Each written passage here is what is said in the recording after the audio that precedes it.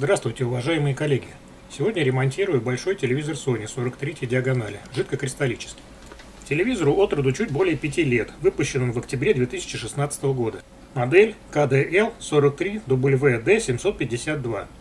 Аппарат имеет внешний блок питания в виде адаптера, а неисправность, как говорится, заключается в следующем. Все работает, только не показывает.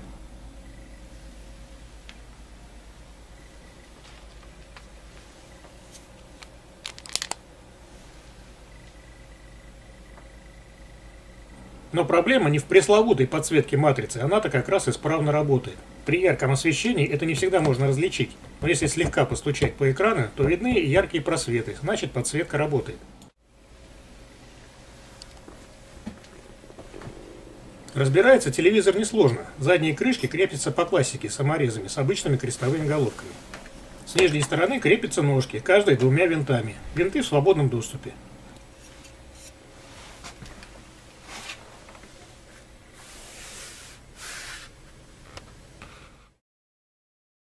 На этом кадре можно еще раз убедиться, что подсветка матрицы работает. Плата тайм-контроллера маркирована буквами АУО, что обозначает АУ Aptronics.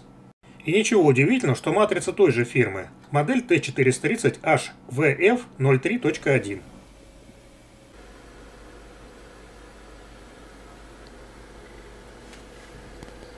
А системная плата родная, оригинальная фирмы Sony.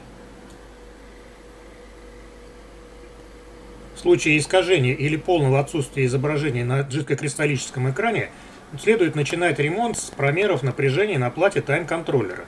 В этом конкретном случае, как видите, питание 12 вольт на плату поступает. Но, к сожалению, на эти модули очень сложно найти электрические принципиальные схемы. Зато почти всегда контрольные точки подписаны непосредственно на плате.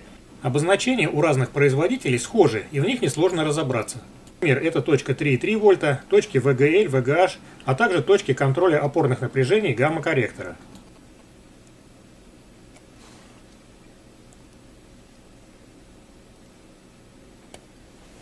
Пробежавшись вольтметром по этим точкам, можно понять, что с питанием на тайм-контроллере все в порядке.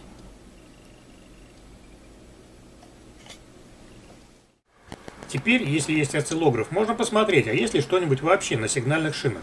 На этом шасси по сигнальным шинам между выходным разъемом и процессором установлен некий контроллер.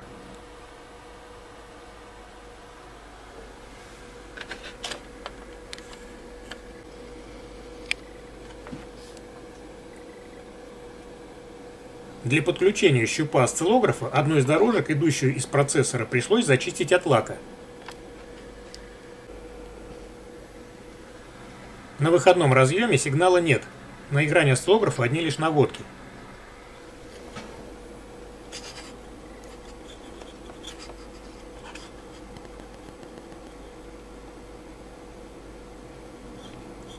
А на одной из дорожек ЛВДС, выходящей непосредственно из процессора, есть сигнал.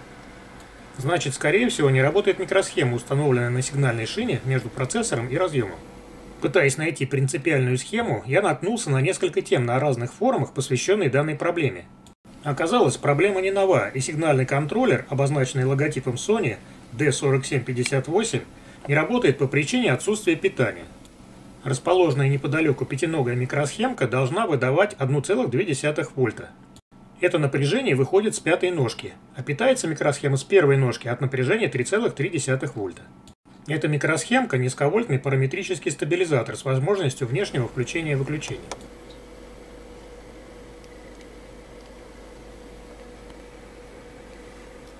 Минусовой щуп мультиметра на корпусе, а второй щуп подключаю к выходу указанной микросхемы.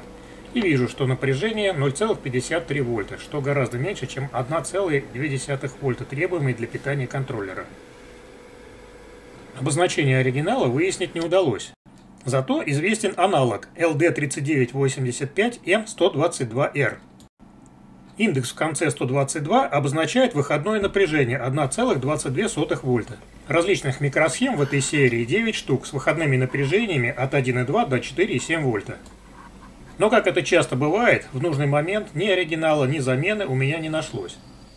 Поэтому пришлось приколхозить трехногий стабилизатор серии 1117 на напряжение 1,2 вольта.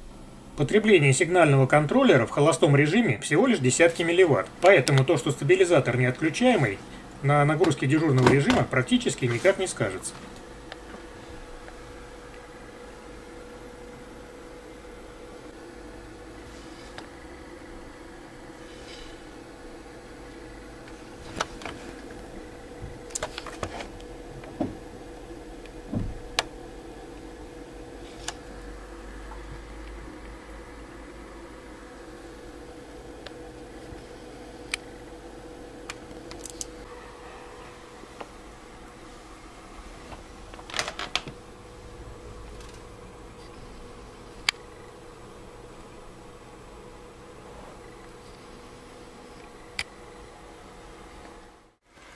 На нескольких форумах утверждается, что этот контроллер – это ускоритель сигналов.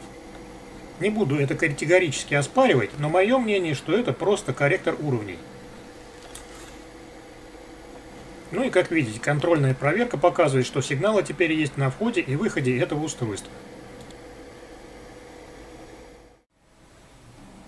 Ремонт окончен, видео тоже подходит к концу. Надеюсь, вы извлечете из него какую-то полезную информацию для себя. Всего вам хорошего. До свидания.